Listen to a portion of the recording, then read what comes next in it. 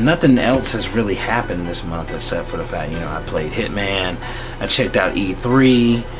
I was actually kind of disappointed in Microsoft. They're doing some sort of Nazi shit with the DRM and, and the used game issue and blah blah blah. Sony came out the gate and pretty much took a huge piss on Microsoft about that kind of shit. And uh, but still, at the same time, um, both of them are selling pipe dreams. They're selling stories.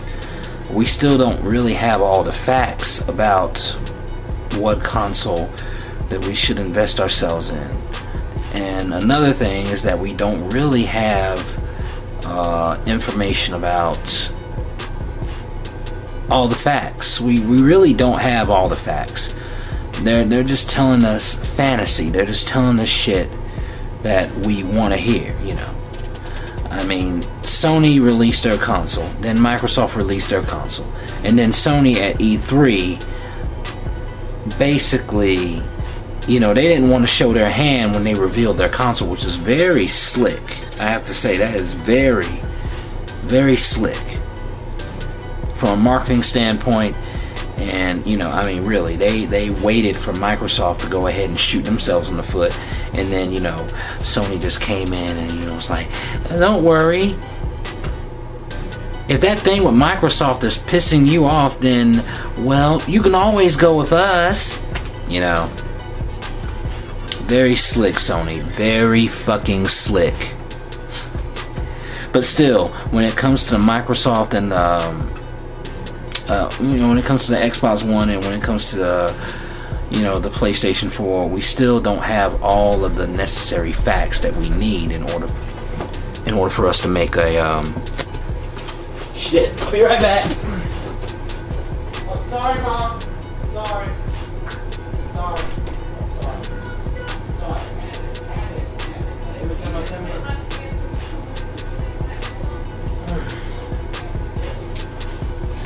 Anyway. I'm back. Accidentally locked my mom outside the house. uh man. So yeah, that's all I really gotta say about like the uh, console wars and everything. We really don't have all the facts yet, and they got this shit where it's like you know you want to go ahead and reserve. Um, you know, do you want to reserve a PlayStation now, or do you want to reserve a um, Xbox One now? Which, in my humble opinion, I think that would be a bad mistake for any consumer to go out there and reserve anything at this point.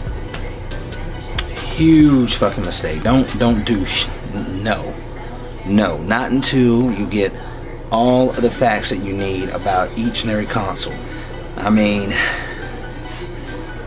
you obviously know about Microsoft's cons, but don't let the cons cancel you out on the pros. But here's the thing when it comes to Microsoft, we don't really know about their pros. That kind of sucks. We know about Sony's pros, but we don't really know that much about their cons. If Sony has any cons with their new console in the first place. And I'm pretty sure it does have some cons because there's pros and cons to every console that you get. So, um, only thing I can say is that until you get all your facts, do not reserve anything. Nothing.